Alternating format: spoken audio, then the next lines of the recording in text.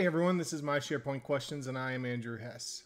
So today I wanted to talk about three different backends for Power Apps and you know why you should use them, why you shouldn't use them, but all three of these are going to be a, a non-premium license model for Power Apps. So based on the documentation from Microsoft, we have standard connectors available at the non-premium price, right? So that's going to be your Excel SharePoint.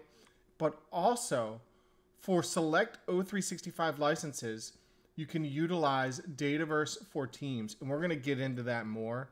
So if, if you don't want to see the Excel SharePoint part, so stay tuned or, or fast forward this video. I will, you know, put chapters in and take a look at the Dataverse for Teams option.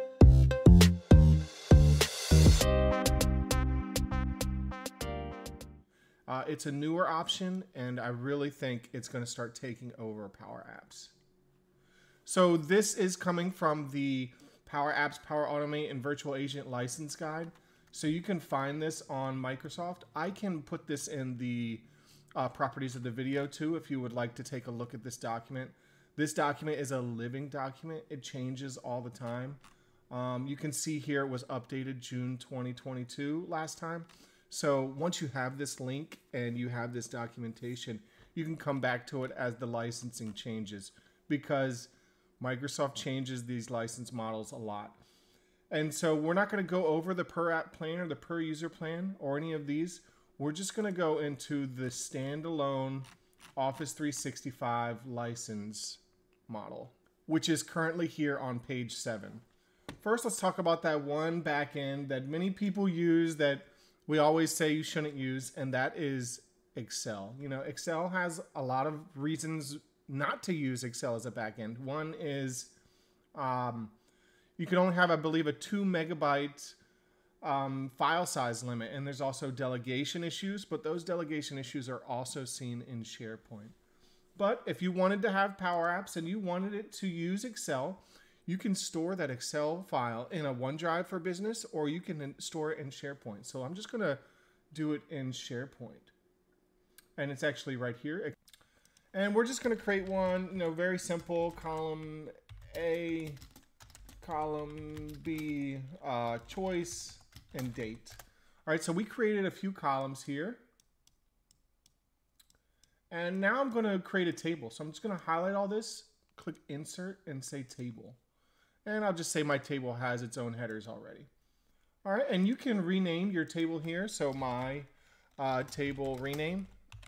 And so that's what you're gonna see in Power Apps, is you're gonna see the name of that. And then you just maybe wanna give your uh, Excel workbook a friendly name. So um, my friendly name. Okay, so we now have an Excel workbook in our SharePoint site. Let's go to Power Apps. All right, so in Power Apps, we're going to go to the uh, cylinder icon here, or to me, it looks like a database. I'm so used to it. This is the database uh, icon, and we're going to add Excel. And in here, I have a, a couple document libraries. I'm just going to choose my out-of-the-box one called Documents. And here is my Excel file, my friendly name. I'm going to choose that. And it's asking me to choose a table. Well, we renamed that table to my table rename. And then we're just going to hit OK. And so we can insert an auto-generated ID. I would rem- uh, I would say that's probably a good thing to do. Just go ahead and do that. All right, so now we have a table. We can insert a, let's say, a form, an edit form, and connect it to the data source and add our fields. And you can see we have title, column A, B, choice, and date. So the one thing about Excel is it's not going to recognize those uh, columns there. We'll have to convert them later on. So we'll have to convert this to a date field if we want, or column A with a choice field. So say we wanted column A to be a choice. We could go in here and unlock this. Delete here and then just insert a drop down. If we change the default mode to new, and we press play, we'll see that my columns are one, two, three. So all we have to do is fix these red X's. It's, it's saying, hey, you know, you deleted what we were reading off of before. So, I mean, we could easily just delete this or go back to our, I believe it's going to be drop down one. We can just say drop down one here for this red X. And same thing here. So drop down one. So we just need to fix the red X's. It doesn't know, you know, dot text. We removed that. So it's going to be drop down one dot selected dot value. All right, so we've now converted that to a drop down. And we can do the same thing here for date. So we could delete this. You got to unlock it, delete it, input a date picker, and then fix the two things here also. Date picker one. And date picker one dot height. And if I could spell right, there we go. And then we're just going to do date picker one dot selected date. Okay, so now all we need is a button to submit. And this is going to be our submit button. And we will change this to submit form. Form one, I have not renamed anything. We'll press play. This is a test, column one. You know, I wrote here, choice, um, Excel, and the date, and we hit submit, and it's now written to that Excel document. So we go back to Excel, and we can see this first line item here. So we have just wrote to Excel that quickly. We did Power Apps, and you can see that's that uh, generated ID that we selected before. So Power Apps now has a unique ID for all of our line items. All right, and so most of my videos have used SharePoint as the backend.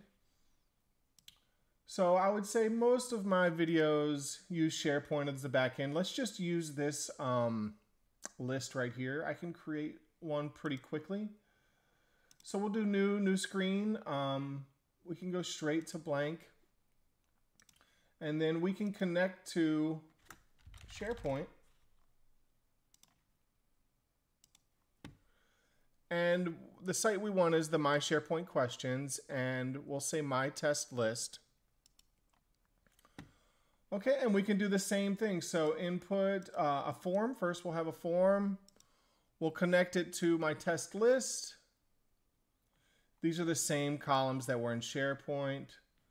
Um, you can see now we have attachments. So that's that's one extra part about um, doing it in SharePoint is it comes with an attachment uh, part.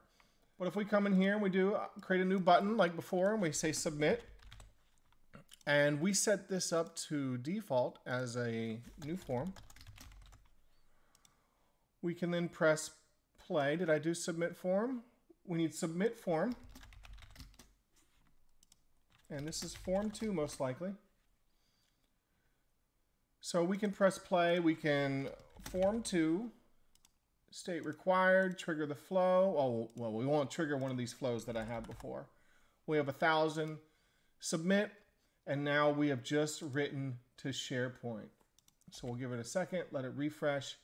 You can see here that I wrote to SharePoint that quickly. Now it did pick up that this was a cost field, so we, we didn't have to do a lot of work there. So both of these options right now do not require a premium license in Power Apps. You can do this straight out of the box of Office 365. But, you know, there's some drawbacks to this. There are things called like delegation issues. If you've been working with Power Apps, you do you are familiar with um, the delegation problem, right? So there's a data uh, row limit, and this is mostly for reading. Now you can increase this up to 2,000.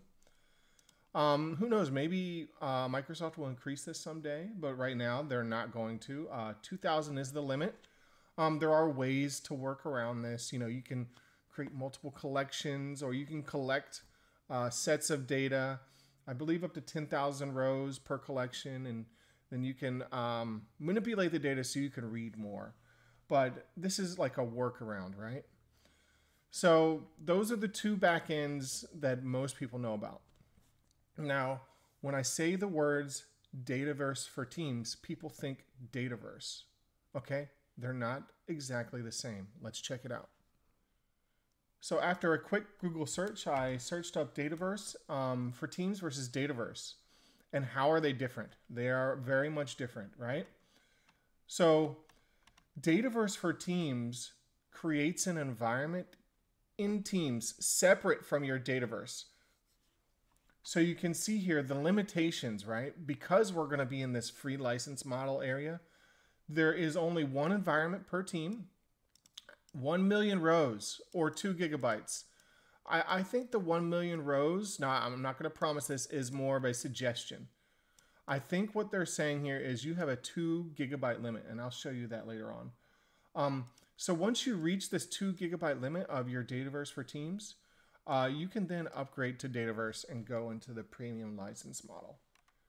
So I just want to give a quick shout out to Shane Young. Obviously, he is, I think, probably the leading Power Apps guy. If you ever search Google, right? Yeah, you see Shane Young. Um, he is going to have a workshop for Dataverse for Teams. I, I, will be there, so if you're there, I can't wait to say hi. But um, I do believe this is the way that Power Apps is going in the future.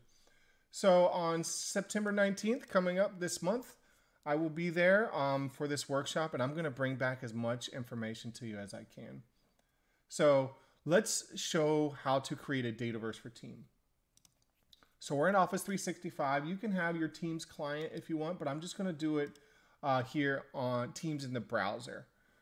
Right? So let's say we're in Teams and we have a team. Let's do a random one. Um, let's try Water Project. Okay? Now here on the left side, you have your apps. Now, some depending on your tenant, you know, they may disable these Power Apps um, or some of these uh, apps that I have available, but I'm going to choose Power Apps. So now that I'm in Teams and in Power Apps, I can just create a new app. And it's going to ask me where do I want this app to live. And I believe we said in the water project, so we're going to put it in the water project and it's going to say, hey, you're the first person to create that app. They're going to create the environment, right? So we're going to create that. And so that's going to take a little bit of time. Now, when you do Dataverse for Teams, it does give you a couple options, right? It does say with, where do you want to start? You want to start with data or with layout? So I'm just going to show you with data and how easy this is, right? So it's going to bring up some of the default uh, data tables that come with your Dataverse for Teams. But what we're going to do is just create a new table. I want to show you how easy this is. This is easy. So it's going to be very similar to SharePoint. So we now have a new Dataverse table. We can come in here and create new columns. So we can do a uh, text column, new column, create. And you notice you don't see it at first, but you can come in here and select all. And we'll see that new column there. Um, you know, column A, we'll kind of copy what we did in Excel. Column B, we did a choice field. And I believe we can change it right here to a choice field if we want. We can have our different choices. And of course, a date field. All right, so we've created our, our Dataverse table already. So let's go ahead and exit out. And it's going to build that for us. Isn't that really neat? So already we have a working Power App for using Dataverse for Teams. We can do a new record, type in, and we can type directly right down Dataverse for Teams. They're making it too easy for us. I'm sorry, but this is easy. We have our choice field, choice one and two, B and A, and we can just hit check and we can write directly to the Dataverse. Now you may not like this format. I mean, we can easily come in here and edit this. We can delete the edit form. We can change the whole layout if we want. We can make this look like a Canvas app. So I just wanted to show you how easy Dataverse for Teams was and it's different than Dataverse. Another thing to know is just because you don't belong to that team doesn't mean you can't use the app. You can easily share with colleagues. You can select this app. And if you have a security group, um, choose the colleagues that can use this And then this app will show up in your app store in Teams. And so other people can use the form from the app store. So if we come in here and we check out more apps, it should show up in here. So here it is, the Water Project app. This is the app that um, we just created in Microsoft Teams. So now other people outside of your team can use your app. It's huge. This is awesome. And I love it what Microsoft is doing here. So I hope this video was helpful. We went over a couple of the standard connectors, Excel and SharePoint, but then there's also Dataverse for Teams. So I would I recommend everyone to kind of study up on Dataverse for Teams. This is the direction that Microsoft wants to go for the people who are using the standard license model. Um, so I'll keep you guys up to date. I'll talk to you soon. Uh, I'm going to be on vacation next weekend, but I'll see you the next. So thank you for watching. Please like and subscribe. I'll see you next time.